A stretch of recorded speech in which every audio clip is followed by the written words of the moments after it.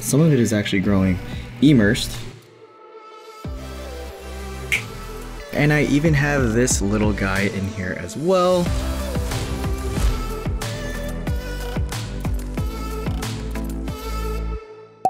I think it's been two weeks since I updated you guys on tanks. They've all been running pretty smoothly. Gonna scrape off the algae over here. Gonna scoop up some of the mulm. And overall, just do a 30% water change on all these tanks. Gonna use my trusty scraper. I'll link this down in the description if you guys wanna use this as well.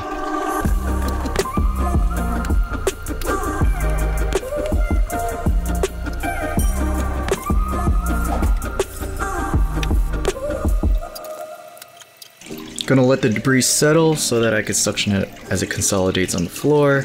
Also gonna do a quick rinse of the pre-filter sponges. One tip when I do these deep water changes is actually take away the pre-filter sponge so that it can actually start suctioning the bigger material. Hopefully that disturbs the water a bit. A lot of the debris can be pulled into two filters from which I can clean them.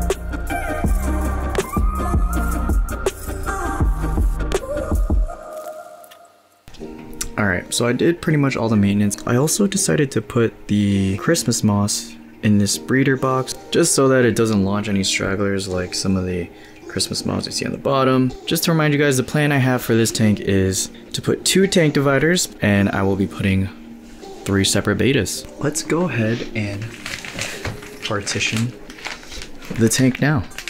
I got these from Life with Pets.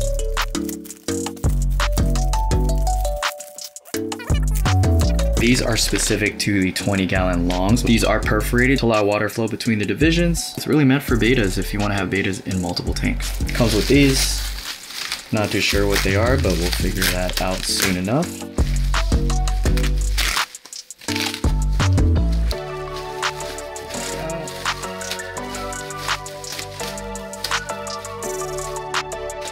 That is quite unfortunate. I did get one that was damaged in shipment. Not the end of the world because I do plan on only using two out of the three. Just be cognizant of that if you are buying these. Make sure you open it up early just so that you can return them if you need to. I actually had these on hand for months and I'm just now getting to them. So these slide and you use these to push against the top rim. Makes sense apparently these are clamps. Also, for those of you who care, if you want to pause, take a look, maybe this will help you determine whether you want to purchase these or not. But now that's out of the way. The bottom is the one that has the bigger margin. The one with the smaller margin is the top. So it looks like it's 30 inches long, which means we would separate them about 10 inches apart. Yep, that works. Dip this in here.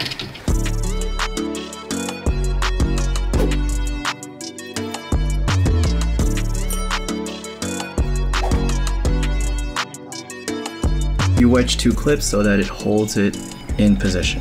So I put in the dividers. It's looking pretty nice. If you look closely, you could see the difference in airflow from section to section. Here, obviously we have two filters. Flow is great. It slowly trickles into here. Then when you get to here, the movement is pretty much still.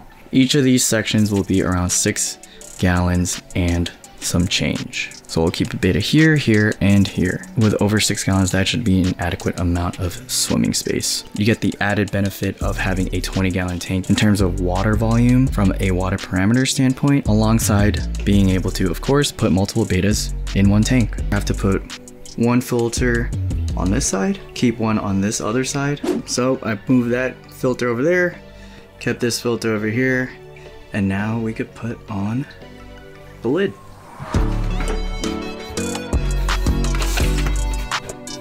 Had this for a while. Let's hope it is not cracked because it is well past the return date.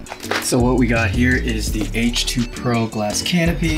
It essentially is like the Aquatops that you could see from Aqueon. The key difference though, instead of a black strip at the hinge, it is a clear strip, which for my side was always a flaw of the Aquatops. So hopefully this will be much better.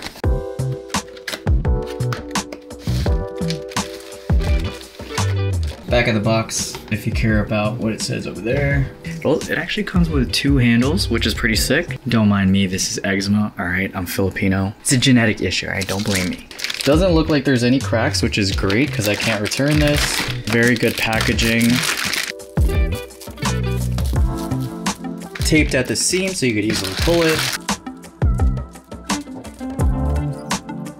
Comes with the additional lining of sorts or whatever this thing is called for the back of the tank. The idea here is that you cut it to your filter setup. So say I have two hang on backs, I would cut a section out here, cut a section out here. I did hear in the reviews that this is pretty difficult to put on here. I probably will not use this yet because I'm in no rush, but for now, let's add the handle.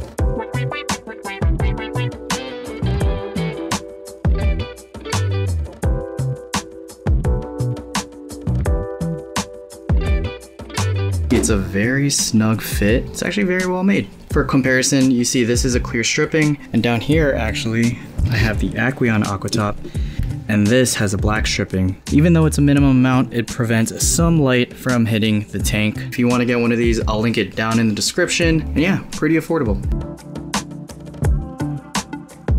What is going on guys? Clearly there's not as much water flow going through this center compartment, which makes sense, but I thought of the most five head solution. Let's see if I could do this with one hand without making a mess. Oh god.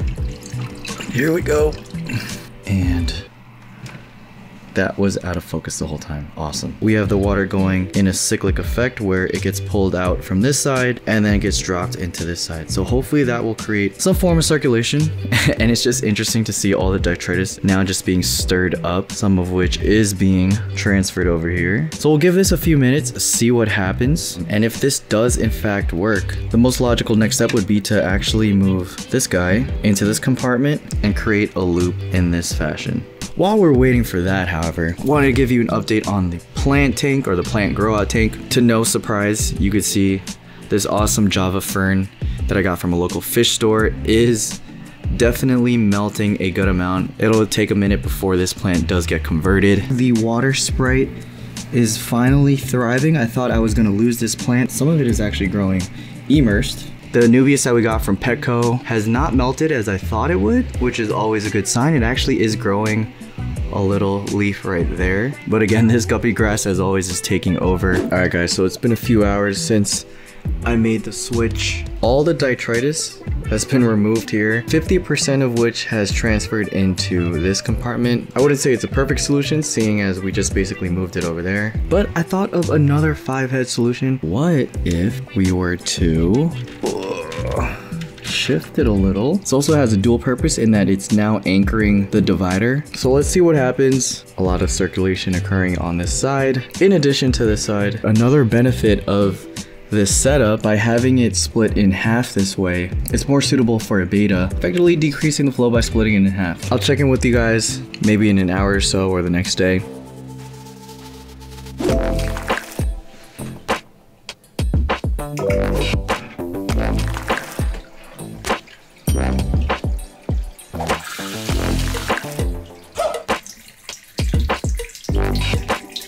While I let gravity do the work and pull some of the water out, I wanted to give you guys an update on the little trick we did here with the hang on back filter. From the looks of it, the debris in the mulm has been pretty much taken care of. Circulation here, circulation here as well. I can almost guarantee all of that mulm is now stuck in that filter. For this third compartment, we have a similar issue.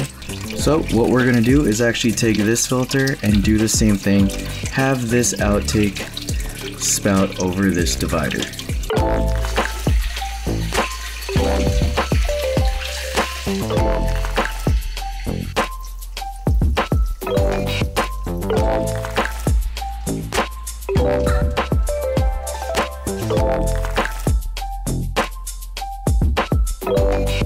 We move the intake for the second hang on back filter into the second third, goes up the hang on back, and then the outtake splits onto this divider. Water change complete on this tank. Pretty much do the same exact thing that I did across all the other tanks that are conveniently now in one location. Anyways, I'll check in with you guys once all the water changes are done. Before we get into that, I just wanted to quickly jump in here and thank the sponsors for today's video, Skillshare. When the team reached out about this sponsorship, I honestly thought it was a no-brainer. I still view myself in the growing phase of this YouTube channel. We're about to hit that two year mark, but looking back in that not so distant past, I actually signed up for Skillshare when I decided to start uploading videos on my fish keeping journey. I learned things from editing, color correcting, workflows for content creators, and that's just a small portion of the thousands of online classes on this learning platform. Jordy Vandeput, I think that's how you pronounce it. Anyway, Jordy is my go-to guy when it comes to climbing into that deep rabbit hole of editing on Adobe Premiere Pro, my go-to editing platform. He has a ton of courses on there, but the one that helped me build a good baseline is called Video Editing with Adobe Premiere Pro for Beginners. In the course, he goes into transitions, graphics, how to fix your audio, the list goes on and on. The best thing about it is each course is broken into lessons, so you could hop to what may be more relevant for you and save some time. For any of my creative people out there, I highly recommend you check out Skillshare. They even gave me a unique link just for you guys down in the description. The first 1,000 people to use this link will get a one month free trial of Skillshare. And at that point, you have complete access to their full repository of lessons, completely risk free. Don't take my word for it. Sign up down below and see for yourself. Anyway, enough of that. Thanks again to our sponsors at Skillshare. Let's get back into setting up that tank over there. One other thing that I realized I did incorrectly was with regard to these black things that are on the edges of the dividers, I pushed them up so that they hug the trim here. But you're also supposed to push them towards the glass so that it lessens the gap between the glass and the actual divider. So I'm gonna go ahead and do that now.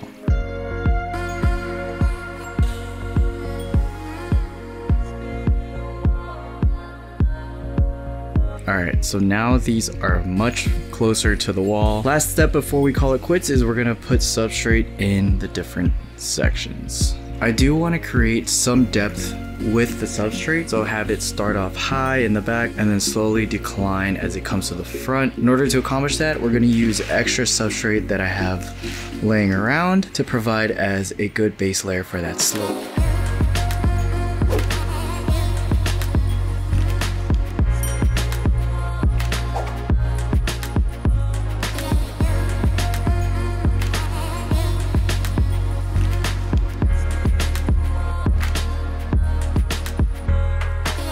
So I only had enough sand for this third. I do have some sand from some other tanks that I could put here.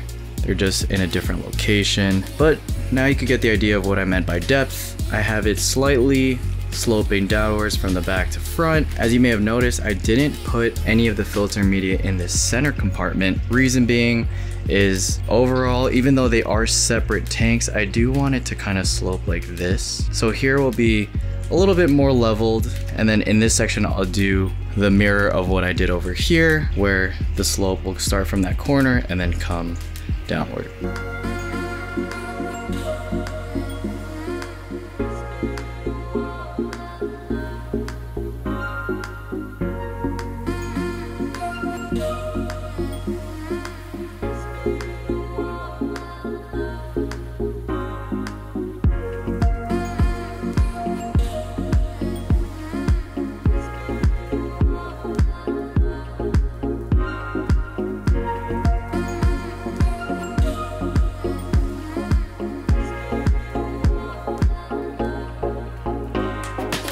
So you guys can see that it's clearly cloudy. That is the result of having old tank substrate that I wasn't able to clean because our outdoor hose is basically non-functional right now. The filters will do their job, take out some of the debris here. I also went in with a net as you could see and I scooped up some of the larger debris, dead plant matter from the old tank, shells from some of the pest snails, this, that, and the fourth. So I'm gonna let this tank cycle through a little bit so that it clears up and then I'll check in with you guys. I may even remove the pre-filter sponges so that the filters can work a little bit more efficiently. I think I'll do a 50% water change on this tank as well to help with the cloudiness.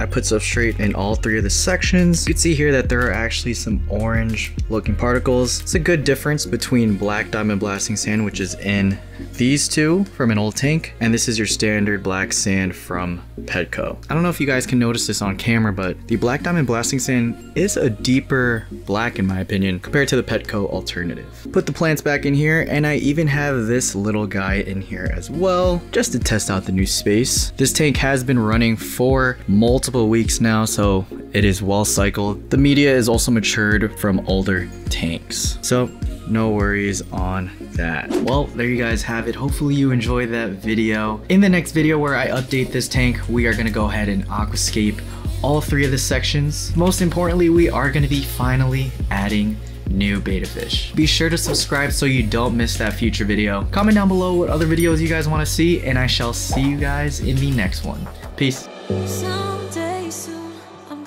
Make.